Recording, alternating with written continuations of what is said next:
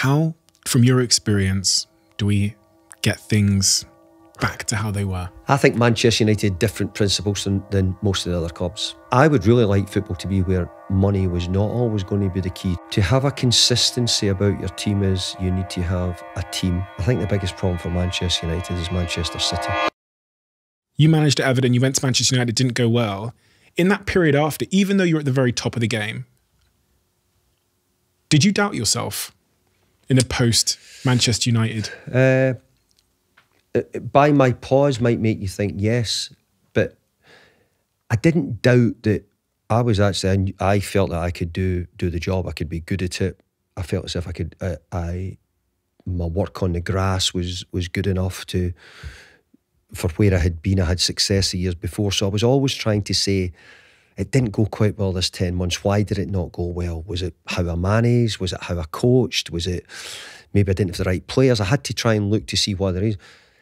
But the other part of the 10 or 11 years, I'd seen some great players. I had been in FA Cup finals. I'd, I'd got to quarterfinals of European competition with Everton. We'd, we'd qualify for the Champions League one year. So I was thinking as well, was I going to make, say that was all no good then, the, the years we had done it? So I think once I put it in perspective, then I says, no, I'm not, I'm not doubting it. But what I do think is, I think, I think most days you have to get up and be ready to sort of challenge yourself every day. I don't I don't think you can get out of bed every morning and think, hey, this is fine. You know, I'm I'm doing okay here. I think every day you're sort of getting up and saying is, you know, how am I going to try and be better? How can I make people better? What am I how can I make a difference today with what I've got? Paranoid almost. Yeah, near enough, near enough to an extent where you're saying is no, I can't no, you folk folks say, do you bring your work home? I I really think if you're in if you're in the, the boss if you're the boss, you're always bringing your work home because it's not, you're not just taking, putting your head off and saying, I'm leaving that in the office and I'll pick it up in the morning. I think very rarely you're doing that. I think that's just life if you're, if you're a CEO or a boss. I very much agree. I very much agree with that idea of taking the work home. And also, when things don't go wrong, in hindsight, everybody's quick to diagnose why it didn't go wrong. Um, has the subsequent 10 years where everyone has failed at Manchester United mm-hmm. felt good? because everyone has failed. Jose's failed. Yeah. Van Gaal went there. You went there. Um, I'm missing someone. I think I'm missing someone. I mean, Carrick well, had a stint. Ole was in it. Ole, well, yeah, Ole know, was in. He failed as yeah. well. So that's you know five or six great, great managers who who couldn't make it work at Manchester United for whatever reason. So I mm. think time has almost been good yeah. to you in terms of your, your yeah. the, the, story of your time. I, I, look, I'm, I'm, I I I get huge respect for uh, Jose Mourinho huge respect for Louis Van Gaal. You know, Ole was new and is one of one of Manchester United's own, so was always going to be given every opportunity to try and make it work as well. So, I think that I think there's been some great managers going into Manchester United. I think the biggest problem for Manchester United is Manchester City. How do we? I'm a Manchester United fan, season ticket holder. How, from your experience, do we get things back to how they were? I think you'll need to probably get rid of Pep somehow from Man City. I think that's my that's my way. I, I look at it. I think I think Pep is. I think there is some managers. I think. But you must have an unbelievable perspective, better than me, at like what because you knew Fergie, you knew the club, everything. You've been inside it. What what do we need to do to get back to? I think Manchester United different principles than, than most of the other clubs. Looked at their youth a lot.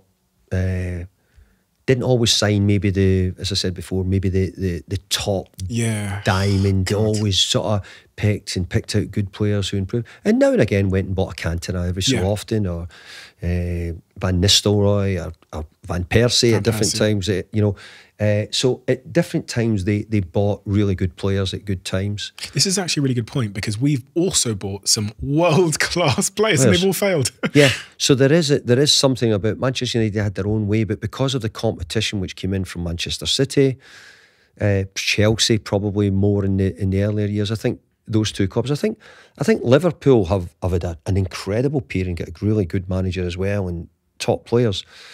I, think, think, over the year, Man United and Liverpool have always had a, a, a, level of competition against each other. People say we've not spent money in terms of players. We've spent shitloads of money. We spent almost a billion, huge, or, or whatever, huge. And all these players, the, I remember the Falcao's, the Di Maria, because yeah. I get excited every time and I yeah. celebrate and I start you know, Yeah, blowing up my friends' WhatsApp chats and saying yeah, "You- you're screwed, we're going to win the league. Yeah. And then every year the, the player fails and then the manager's sacked.